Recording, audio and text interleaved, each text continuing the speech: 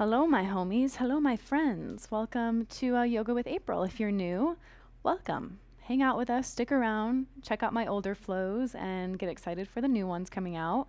And uh, if you've been chilling with me, if you've been flowing with me, thanks for coming back.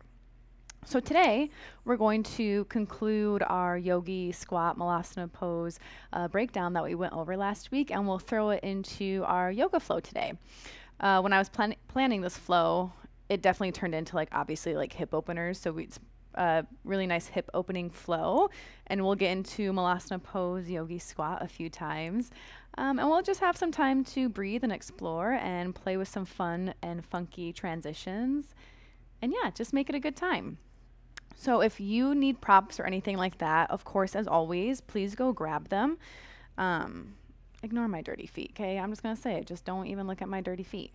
But if you need props, please grab them. I'm not going to cue any specifically in class, but they're always welcomed for you to bring.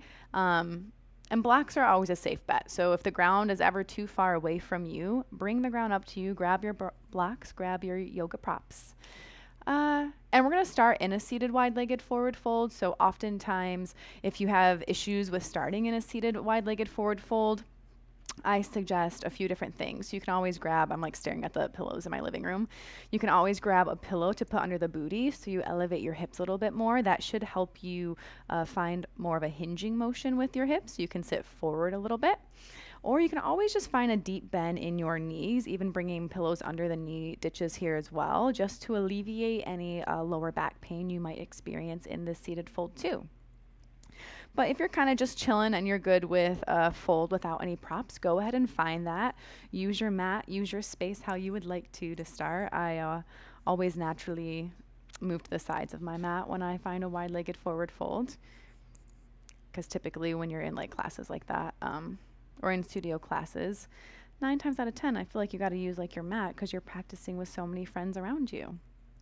So yeah, we're just going to start here. Find a couple moments to settle in. You might uh, feel the tendency, feel the need to sway a little left, sway a little right. When you start finding these little subtle movements, notice how your hips feel, how your sit bones feel. Try to keep them grounded a little bit.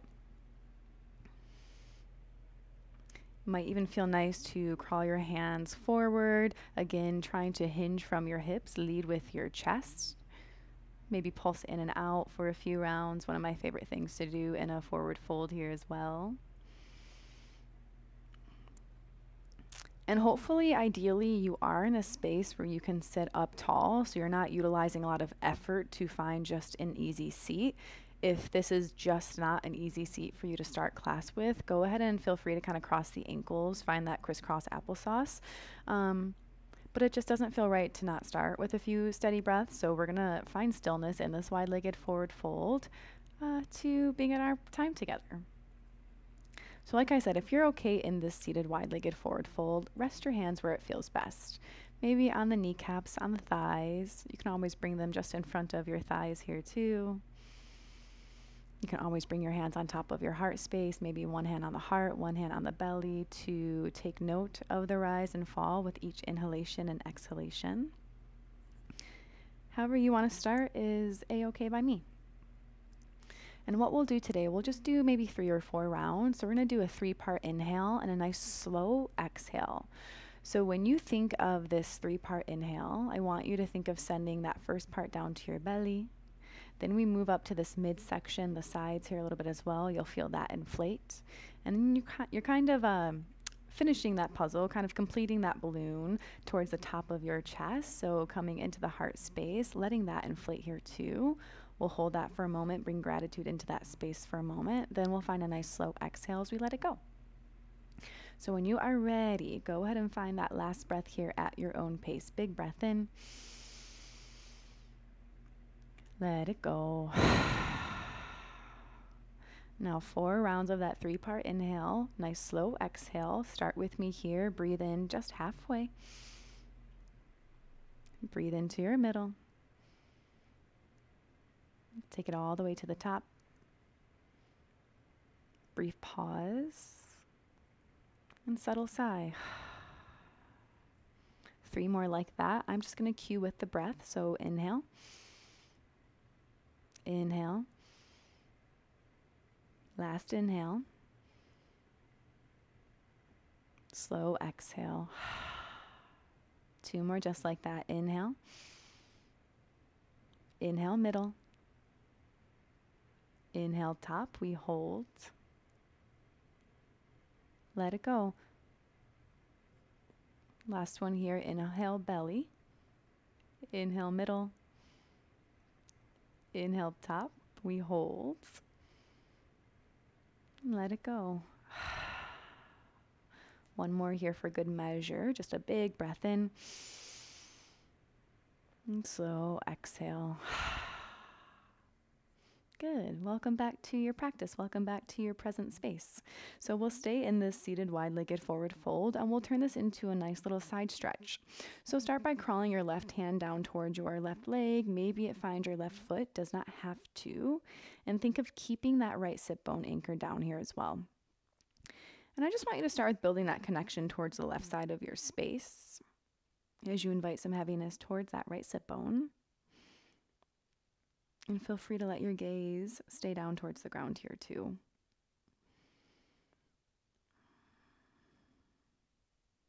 Now, eventually, you're going to flip that right palm up towards the ceiling, match it with a breath in, side lean over towards the left. So, breath in, we side lean on over. Take time to find length for your right side. Feel some space develop in between the rib cages. Not rib cages, but in between the ribs. But we all knew what I meant. Know what I mean? It's fine. Keep reaching through your right fingertips, palms facing the ground. Now, from here, we're going to play with uh, some rotation for the torso here, too.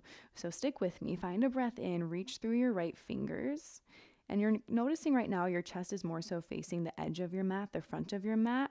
I want this right middle finger to touch the ground outside of your left ankle. So you're gonna have to find that rotation through your torso to make that happen. And you might have to move that left hand out of the way a little bit here too. That's okay. But we're gonna, going to link this breath to movement. So when you find another breath in, invite that side lean back towards the left side of your space as you breathe into your right rib cage. Now, as we exhale, you find that slight rotation. Guide your right fingertips outside your left ankle. Two more like that. Inhale, you reach open back up through the heart space. Exhale, a little twist. One more with me here. Inhale, reach, gaze high. Exhale, twist. Find the ground beneath you. Hold for three, for two, and on one, we'll switch our sides right on out. Right hand will gently crawl down your right leg as you reach and lift through the left side. Notice where your gaze naturally wants to go and let it go there. So, relaxing the neck, relaxing the face, unclenching the jaw. Make sure you are utilizing your left sit bone to help you find that anchor as you reach and lengthen, finding a breath letting space develop through the back body. Also breathing into those hamstrings here too. Now, again, so we're going to start with a breath in. Try to gaze up. I kind of should have cued that on the other side, but you know, now we know. So, breath in, you're going to gaze up. And then you find that breath out, invite that twist in. Your left fingertips go outside your right ankle. And finding three more like that. Inhale, we reach, we lift. And then exhale, we invite that little twist in. Two more like that. Inhale, reach. Exhale, twist. Last full one. Inhale, reach. Now exhale, twist. We're going to hold. Push your fingertips into the mat. Ground down through your left sit bone. Beautiful. Come on back towards center. Let your hands fall on top of your legs. Roll your shoulders away from your ears. Big breath in. A nice slow exhale. Let that go. Now we're going to stay in the seated fold here for just a few moments longer, and we're going to find uh, Supta Konasana, so butterfly pose. So it can be a little early for a butterfly pose. So if your hips are still a little tight, feel free to kind of sit up nice and tall. You might just gently place your hands on top of your knees. That added weight might be enough for your hips right now.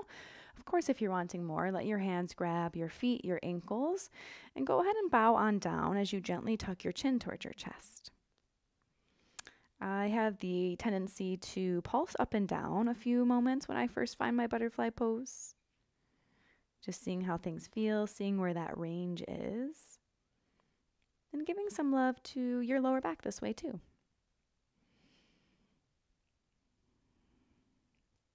Now you can either stay here or follow along with me. You're going to place your right elbow inside your right knee or left elbow inside your left knee, and then your right hand comes on the inside of your right knee, and you gently just push into that space. Your gaze can go up towards the ceiling if that feels okay. Notice your left elbow bringing heaviness to the inner lining of your left leg, helping you stay grounded. And we gently switch that out. Place your right forearm down, left hand, left knee. Gently push into that space Notice where you want to land, where enough is for you, and let yourself stay there. Good. One more time. We're going to come back towards center. Let your hands grab your ankles. Find a breath in, gaze high. And as you exhale, we tuck and round. Just here for a few more moments. It might even feel nice to sway your head left to right, so getting into the back of your neck. You'll gently pick it back up. If you need to come to the top of your mat, go ahead and kind of rotate yourself back towards the top of your space. Now bring your hands behind you as you set your feet onto the ground. Knees will point up towards the ceiling. Heel toe your feet towards the edges of your space and gently start to windshield wiper here. So dropping the knees left, letting them travel towards the right. Linger if that feels nice. Fieldy boy has found a fly, and you know, we really got to get that fly. Where'd it go? Good. Come on back towards center. Cross your ankles. Come to a forward fold top of your space. And I'm going to give you some freedom in this forward fold. So, a forward fold of your choosing. If you want to catch opposite elbows, make this a ragdoll pose. If you want to just completely surrender into the space, let everything melt down towards your mat. You might just let yourself kind of uh, kerplunk on down, shutting down the eyes. Notice if you can relax your jaw here a little bit. And see how it feels to invite a deep bend in one knee as you straighten the other leg the leg you're straightening, try to seal the outer edge blade of that foot down. You might even get a nice IT band stretch that way too.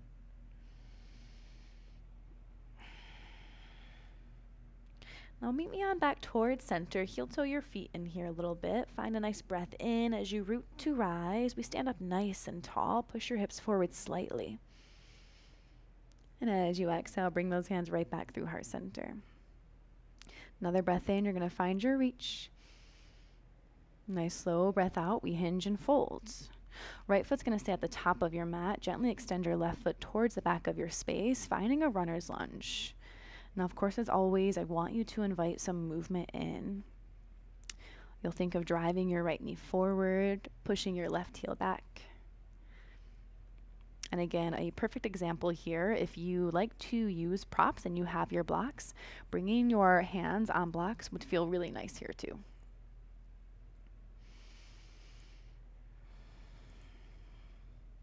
Now go ahead and keep your hands just as is, probably under the shoulders or a little bit forward, and we're gonna find some knee dips with our left knee.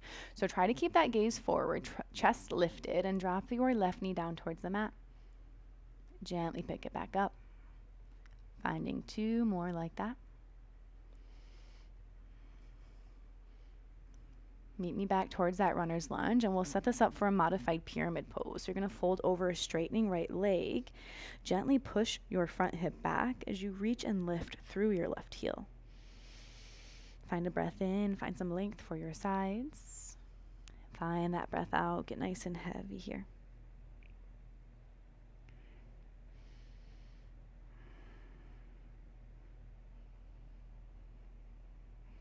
Now go ahead and gaze towards the top of your space. Step and find a forward fold. Left foot's going to meet your right. I encourage you again to find a nice deep bend in your knees just to release some of that pressure. Big inhale. Let's bring it up. Reach through your fingertips.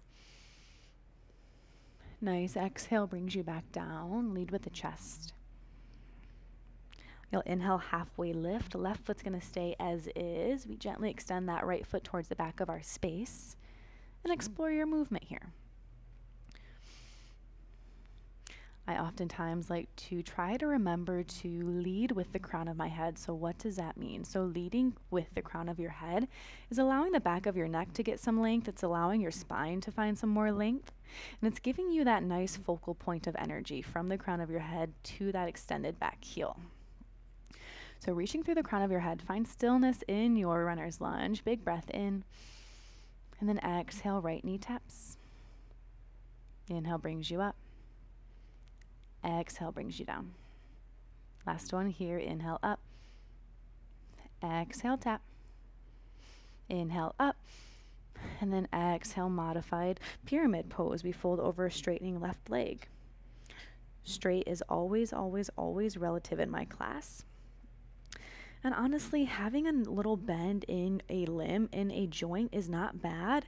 If anything, you're working it more, you're finding activation, and you're building a deeper sense of awareness to your practice space. So don't feel as though you cannot invite bending into the knees, into the elbows, into the arms, wherever it might be. Now, a little change here. We're going to step this back to a plank pose. So left foot's going to meet your right. We haven't done much on the wrist, so I'm not going to keep us here too long. Stay here for three for two, knees will come down here first. Untuck the toes, lower all the way down to the belly. Now, when you find your belly, bring your hands about 10 to 2. Separate the feet. Tint up on your fingertips. Breath in, you rise up. Breath out, you lower down. Couple more rounds like that. Breath in, you rise. Breath out, you lower. Three more with me here. Inhale, rise. Exhale, lower. Last two, inhale. Exhale. Inhale, finding your gaze. Exhale, lower, nice and easy. Bring your hands under the shoulders, squeeze your elbows close towards your sides. Feel your shoulder blades depress down towards the middle. And just breathe. Child's pose when you're ready. Hips go back towards your heels. Keep your hands towards the top of your space. Breathe into your sides. Feel yourself connect. Connect to the breath. Connect to your practice. Connect to the energy you brought into your space today. A downward facing dog when you're ready. Tuck the toes, lift up the knees, hike the hips on back. Think of your pointer fingers, let them point more towards the top of your mat. You'll gently find that rotation, externally rotating the fingers towards the edges of your space. You'll feel the thumb slightly pull towards center here too. That's okay. Always wanting to take a moment here to invite any authentic movement that feels right so noticing if you want to sway the hips a little bit, pedal out the heels, shake out the head. Assess how the back body is feeling. See if you can find more length for your spine as you straighten out the back body, inviting a nice deep bend into the knees if you need to to make that happen. Now gently invite stillness into your downward facing dog as we find two steady breaths here. Big breath in, you fill up. Exhale, let it go. One more here, my friends. Breath in. And breath out. Next breath in, we raise that right foot up towards the sky. And as you exhale, step in between your thumbs, plant your back heel. We rise to reverse our warrior. Inhale, paint the sky. Linger for a moment, invite that bend back into your right knee. Reach behind you and also find that lifting quality for your right side. Right hip pulls back slightly, nice and active through that extended left leg. Very good, my friends. Inhale, find one more reach behind. And then exhale, find that side angle pose. Right forearm, right thigh, they will meet. I always like to say here too, gaze can be up or down, but notice if you gaze down, if your chest is naturally collapsing down here as well. If that's the case, I encourage you as much as you can. You might even just gaze towards, um, you know, the left side of your space. Or if you're able to, let your gaze go up because that's going to allow your chest to go up nice and high here too. And again, you're finding that reaching quality, so lengthening out, lengthening out through your left side. You gotta pull that right hip back and down one more moment here. Ground down into your right big toe. Now bring this into a skandasana, back of your mat, so hands can plant to make that happen. Kind of crisscross applesauce, bring it on down.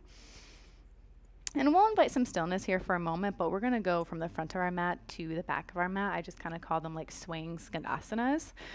Um, and I'll show you here too. So while you linger for the next breath or two, I'll show you two different movements that you can do. So you can keep your hands on the ground the entire time, finding these swaying skandasanas, right? You can even have blocks under your hands here too. If you want to practice more mobility or just kind of challenge yourself in a new way to see what shows up, because you don't know until you try, you might even just keep your hands toward your heart center and the goal here is to keep your hips nice and low as you move from left to right. So we'll start together. Come back into your left knee. You choose your path to the front of your mat. Hands can plant, hands can stay towards heart center, but eventually we come into that Skandasana pose into our right side. And if you're up higher, more like that, uh, and you stay on the right side here, so we'll kind of equal out that time. If you're higher, you're higher. That's okay. Move how you can move today. Make your practice serve your body. Okay, so I'll give you a couple moments here to go from your right to left side and let your, I was going to say, let yourself look different. Let yourself be different. I always say that in um, in-person classes when I do stuff like this because we're not going to look the same. We're going to be um, different sides of your mat, exploring different paces, and just looking different, and that's okay.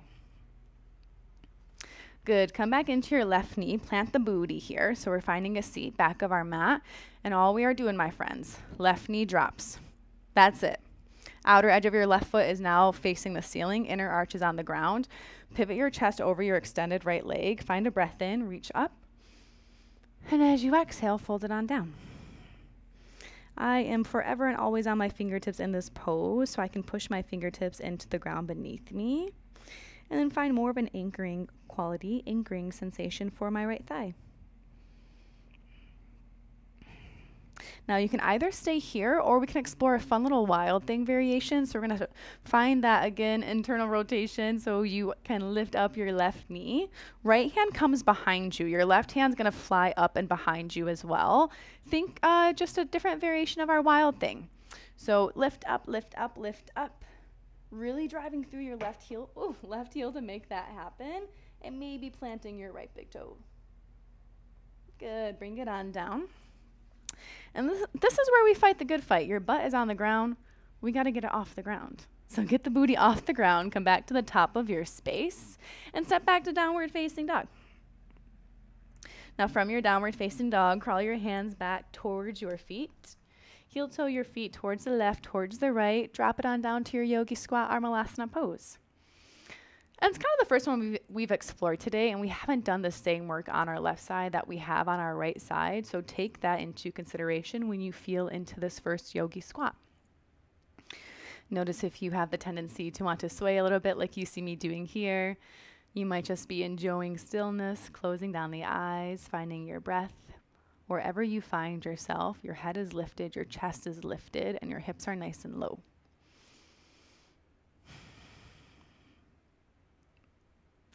Now find some stillness here in this yogi squat, or malasana pose.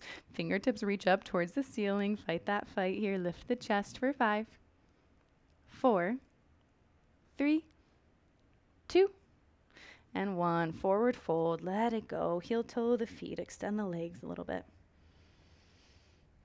Now from here, inhale, halfway lift, nice flat back. And now bring it back to that downward facing dog. From your downward facing dog, if you would like to clear this out with a vinyasa, feel free to do so. Levitate yourself forward, plank pose. And then exhale, you lower halfway down. Inhale and tuck those toes, upward facing dog.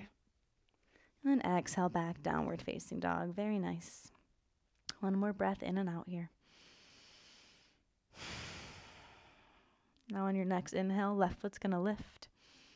As you exhale, step in between the thumbs. Plant your right heel. Inhale, reverse that warrior. Paint the sky with your left hand. And notice if you can rebend into your left knee. Waking up through the inner lining of your left leg. Feel expansive through your left lung. Exhale brings us into our side angle pose. Left forearm, left thigh, they will meet. Big, nice line of energy from that right side.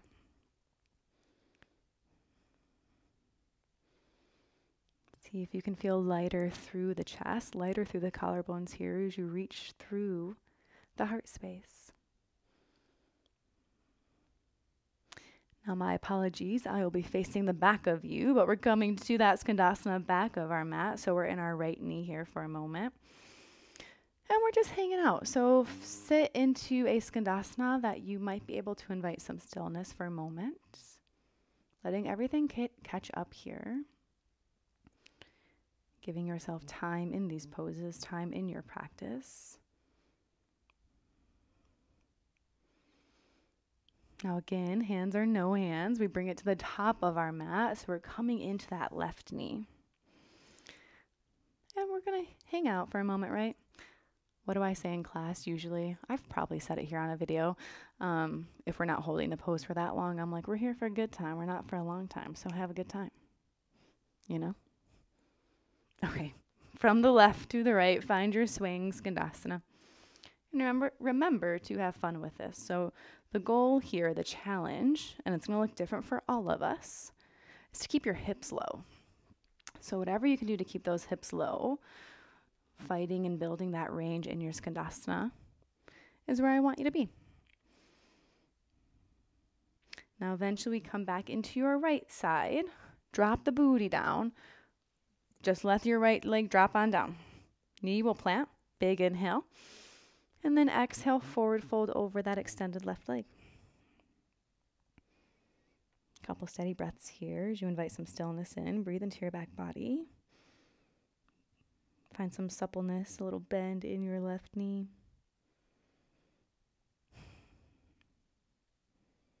Now you stay here if that feels nice, or if you want to explore that wild thing variation again, we have to bring our right foot back to the mat. Left hand plants behind you, probably right in line uh, with your left booty or left side of your booty. Your glutes, so I can sound more professional, your left glute. And then inhale, wild thing. Drive and lift through your right foot. Exhale brings you back down. And here's the fun part try to reach forward. I know this is like work for people, right? Try to reach forward, big inhale. Uh, exhale, let it go. Find your drive. Beautiful work. Come back to the top of your space. Now, this time, right foot's going to step to meet your left. We come right back into that yogi squat, Amalasana pose. So now that we've worked both sides, we've had time to explore both sides. Settle in. Hands might come towards heart center. Let your gaze drop down towards the bridge of your nose. Or maybe you just shut down your eyes. Let a steadiness come back into your breath. Let a clarity, wow. Let clarity come through with your inhales. Let the thoughts go with your exhales.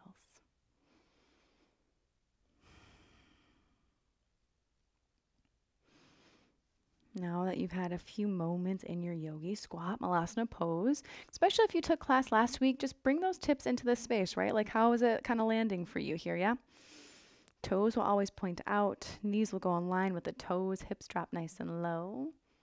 And we're just here for a steady three, steady two. And on one, forward fold, let that go. Nice job. Now I'm going to give you another second here in that yogi squat malasana pose. And I'll give you a choice. So if you are just vibing the squat game, vibe in the squat game. Do your thing, right? If you want to do some crow pose, a little arm balance just to spice up your class, um, go ahead and kind of work that here too because we're almost to the end of our time together here anyways. So yogi squat, hang out, do what you got to do. Crow pose, if you want to play with crow pose a little bit, you might click the feet on in. Make that little shelf with your triceps by bending your elbows.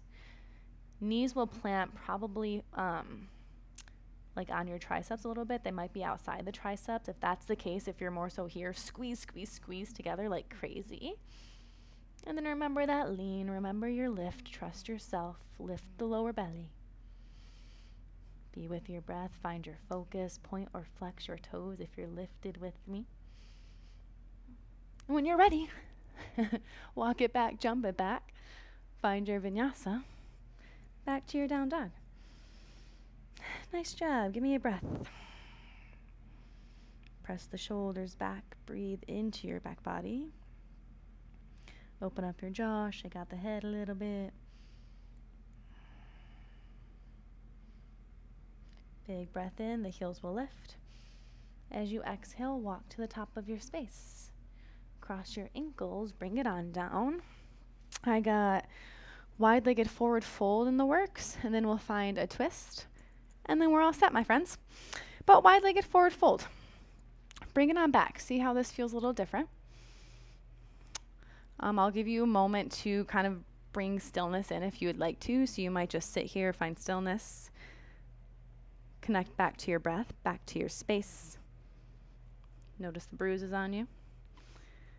And of course, if you like to move a little bit, you can move here too.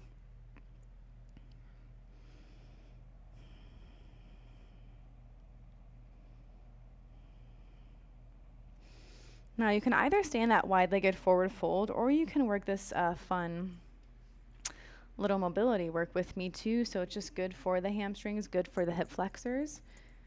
Sorry, this mic's just crazy right now. Good for the hamstrings, good for the hip flexors, but also good uh, for handstand work too, puppy press work. So if you're with me, you can just stay in your wide-legged forward fold and chill. No narrative behind it. Do what you got to do. But if you want to kind of play a little bit and work, uh, work all that space we just made, you're going to let your hands frame your right thigh. Let your chest, excuse me, I hope you didn't hear that burp. Let your chest pivot over that extended right leg. You're going to have the tendency, you're going to want to lean forward. I'm going to ask you to roll the shoulders away, pop up on the fingertips, activate your core to try to keep yourself in line and we're just going to do some heel lifts. If you can't lift the heel, just drive the heel back and fight that fight and bring that activation still into your leg, okay? So when you're ready, breath in, breath out. now you start to lift and lower for seven, six, five, four, three, two, and one. Let it go. Nice job. I have not done those in a minute and it or it can tell. I can tell. Okay, let's just get to the next side. Let's get this over with, right? breath in, breath out. now, when you're ready, find your lift, find your lower seven, six, five, four, three, two, and one. Let it go. Nice job. Find an inhale, reach up tall. And exhale one more forward fold. Check out the head a little bit. And bring it back up when you're ready. Come back to the top of your mat. Extend your legs out nice and long. And come to your back. You might bring the knees inside the chest. You might just gently place the feet on the mat. But eventually, when you're ready, Bring the knees inside the chest. Connect with your shins, the back of your thighs. Interlace your hands where it makes sense. Keep your knees as is, cactus gold post your arms. So they're finding the ground beneath you. And then knees will drop left, we'll gaze right. Heavy through the shoulder blades, heavy through the torso. Heavy through the knees here too as you let them stack.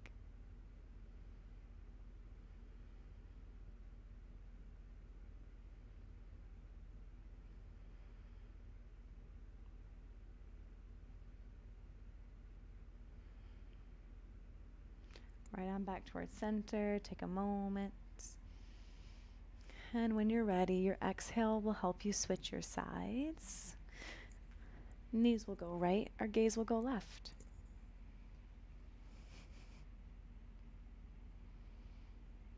Deep breaths here. I love a good twist. This is my first twist I found today, too. And I teach tonight in person. You know we throw in twist in class.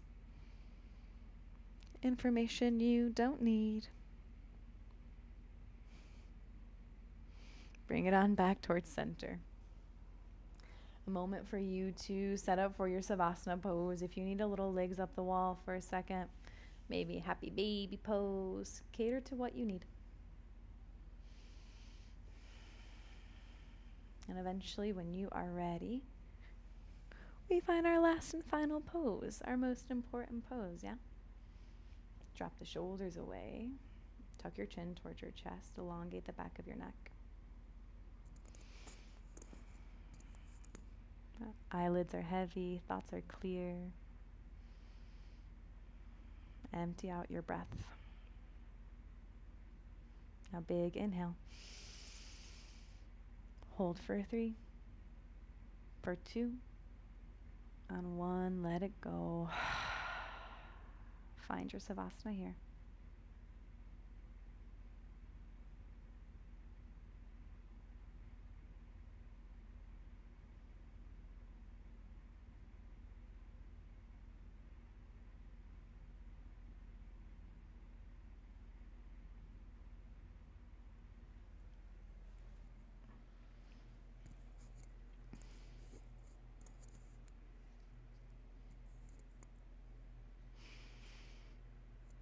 Now, thank you so, so much for being a part of our community here, for following along with our classes, for sharing with your friends. Uh, it all means so, so much, always and forever. Um, we just wrapped up our eight day meditation challenge at Rooted Renewal Wellness Retreats. Um, it was online, so anyone can join from anywhere. We do those challenges once a month. We always have a different theme. Next month will be our mobility challenge. They're free for everyone to join, and we have giveaways each month here too. Um, so stay on the lookout for that. Follow us below. Um, I think that's it. We're so close to wrapping up all the loose ends with retreats and offerings that we cannot wait to share our little labor of love. Um, and yeah, let me know if I can help you out with anything, my friends. And I really hope you enjoyed class today. Peace.